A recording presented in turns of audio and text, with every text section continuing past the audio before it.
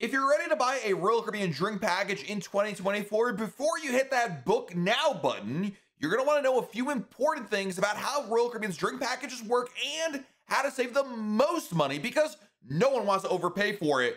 We've got all the tips you need in this video.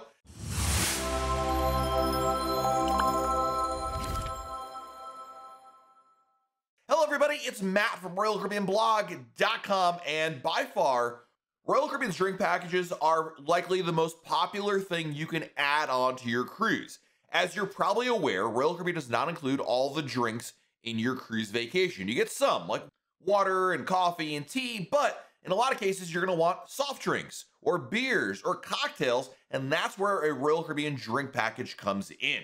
But it can be a little confusing as to how these drink packages work and do you actually need one? And most importantly, if you do need one, how do you save money on it? So Royal Caribbean has three drink packages to consider. Each of these drink packages have a fixed daily cost offered to on all ships so that you can budget your beverage costs and potentially save some money. The various plans provide guests with unlimited drinks that can be used at any bar or restaurant on Royal Caribbean's cruise ships, as well as their private destinations. The drink package benefits are available via your SeaPass card, which any waiter or bartender can verify that you have the package. Among the three drink packages, none of them include minibar items, Evian water, souvenir glassware, specialty beers, or super premium category beverages. Let's go through each one, starting with the refreshment package. This drink package includes all the non-alcoholic drinks. It's popular with adults as well as older kids, and those who just like having juices, coffees, and teas included. For every guest that buys the refreshment package, it includes premium coffees and teas, bottled still and sparkling water, fresh squeezed orange juice, mocktails, fountain sodas, and Coca Cola freestyle beverages, and of course, you get a Coca Cola souvenir cup included. Then we have the classic soda package, which a lot of people just call the soda card. It's the unlimited soda offering, and it's very popular with kids. This includes fountain soda and refills in any venue, Coca Cola freestyle beverages, and the Coca Cola souvenir cup as well. And then there is the deluxe beverage package, which is the unified unlimited alcohol package. This is the best of both worlds with access to nearly the entire stock of beverages with or without liquor. You can enjoy unlimited combinations pretty much of everything from cocktails with top shelf spirits to premium teas and everything in between. So it includes cocktails, spirits, liquors, beer, wine by the glass, mocktails, premium coffees and teas, fountain sodas, the Coca Cola freestyle beverages, Coca Cola souvenir cup, bottled still and sparkling water, and fresh squeezed juices. It also includes a 40% discount on wines under $100 and a 20% discount on wines above $100. The deluxe beverage package includes drinks with liquor up to $15 in value. Drinks that are served in a souvenir cup, glass, mug, or whatever are not included with this drink package, but a portion of the drink price is subsidized by the beverage package. It's really important to know that if one adult in the cabin elects to buy the deluxe beverage package, all the other adults in the same cabin need to book it. This rule does not apply to the refreshment package or the soda package. Now, if this rule applies to you and one of the other adults in the cabin doesn't want the unlimited alcohol package, well, then you could call Royal Caribbean and ask to get them one of the lower packages, which will save you money compared to being forced to buy the deluxe beverage package. The price of a drink package will vary from ship to ship and sailing to sailing. Royal Caribbean utilizes dynamic pricing for its drink packages, primarily the deluxe beverage package, but this really means that the price could be different based on the ship, itinerary, or sale date that you pick. The deluxe beverage package price ranges between 55 and $105 per person per day. The Royal Refreshment package is pretty much $29 per person per day. Soda package $12.99 per person per day. And every drink package includes gratuities when you purchase it. So there's no additional tips or cost for anything included in the package. When you purchase it, you'll see a service charge that comes with the drink package, which includes the automatic 18% gratuity. And no, this gratuity is not the same gratuity that you may have already prepaid with your cruise fare. That gratuity is for your stateroom attendants and the dining room staff. The key is with any drink package, you always want to buy it before the cruise. And that is because Royal Caribbean offers sales almost always on its drink packages. Bottom line, it will cost you more to buy the drink package on board your cruise ship than at home. So no matter what, it's always cheaper to buy it before the cruise. Plus, the nice benefit of Royal Caribbean system is if you buy it today, one of these drink packages, and then tomorrow or next week or next month or next year, the price goes down on the drink package, you can always cancel and rebook with no penalty the drink package instantly via Royal Caribbean's website and then rebook at the lower price. And this is a really good idea to book it now because sometimes the price goes up. So by booking it now, you get to lock in the current price, but still be able to take advantage of a price decrease later on. Something else you should know about Royal Caribbean's drink packages is there's no daily limit for any of the drink packages. I know that Carnival and maybe some other cruise lines have a daily limit. Royal Caribbean does not. So, what are the pros and cons of a drink package? Well, one of the pros is you're going to be able to potentially save a lot more money compared to paying for each drink a la carte. Certainly, if you're somebody that enjoys having many drinks every day, it can definitely save you money with a drink package. This requires anyone that buys the package to be willing and able to enjoy a good half dozen drinks every day of their cruise. There is no question a drink package has an excellent value proposition associated with it, but you need to be able to drink enough to quote unquote break even on the package versus buying the same amount of drinks on your own. If you knew that you were not going to drink enough every day of your cruise to break even, I'm not sure why you'd want to pay for a package. With that being said, the price of a Royal Caribbean drink a la carte has really been going up over the last couple of years. You can expect to pay anywhere between 10 and $15 for a cocktail on a Royal Caribbean cruise ship, which means bar tabs can quickly get very expensive. And with so many tantalizing choices at each bar on your cruise ship, the temptation to grab a drink is always present. The drink package benefits will save the most money for anybody that drinks a lot during the day and then spreads their drinking out throughout the course of their day and evening. Then, of course, there's the amount of drinks. One common regret I hear about all the time is something called drink fatigue with the drink package. And this refers to when somebody buys the drink package and they end up drinking way more than they ordinarily would, and they end up ordering drinks for the sake of ordering drinks.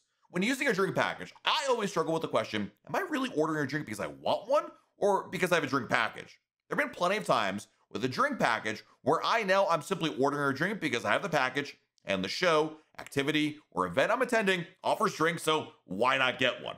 If you're on a short cruise and are looking to have a great time, the drink package should make a lot more sense since there are less days to use the package benefits.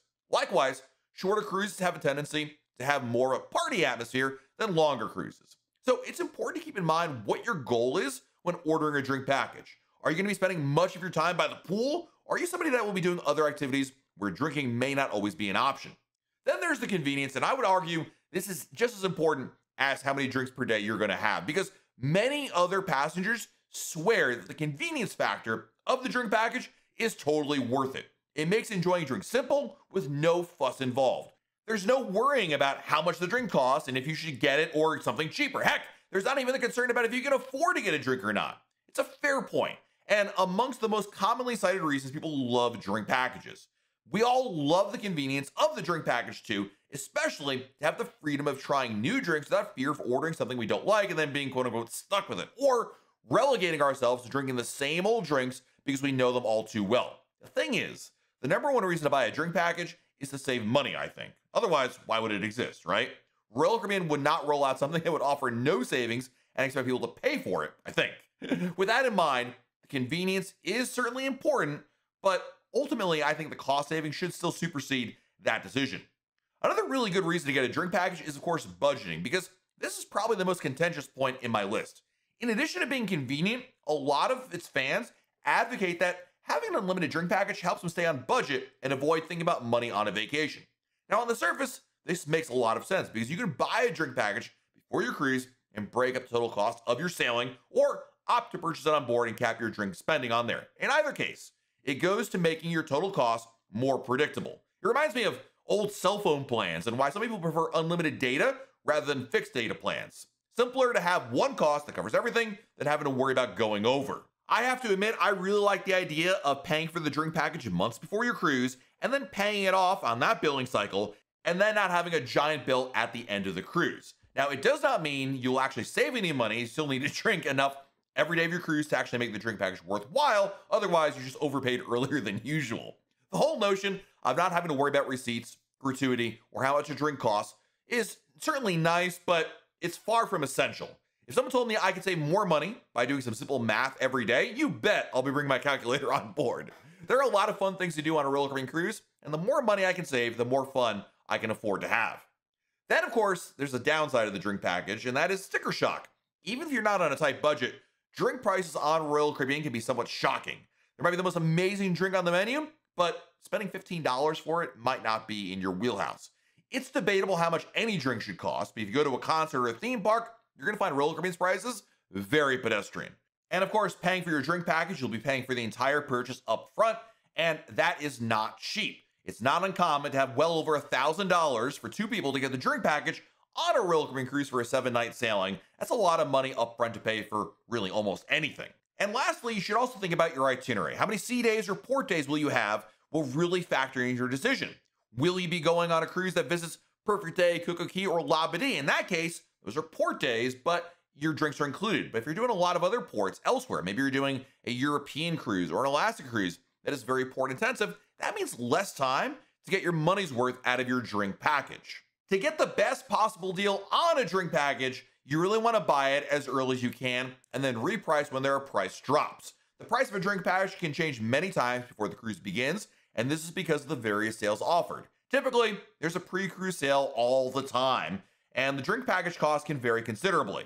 The one thing you don't want to do with the drink package is try to time a sale. Whether it's Black Friday, July 4th, or New Year's Eve, don't try to wait for a sale to book it. If you know you want a drink package or probably know you want one, book it now, lock in the price. If there is a better deal on one of these holidays, you can always cancel and rebook at the lower price. The problem is too many people wait to try to book their drink package on those sales because they don't want to lay out the money ahead of time and they end up paying more than they expected.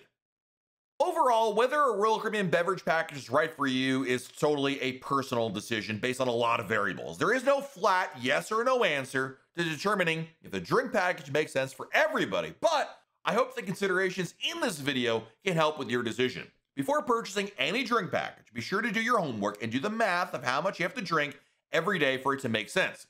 If you're a first time cruiser, the drink package can make sense for some people and others, no sense at all. It's foolish to assume that any drink package is a good or bad value without considering how you cruise. The deluxe beverage package benefits guests who want to have a great variety of premium drinks on their sailing.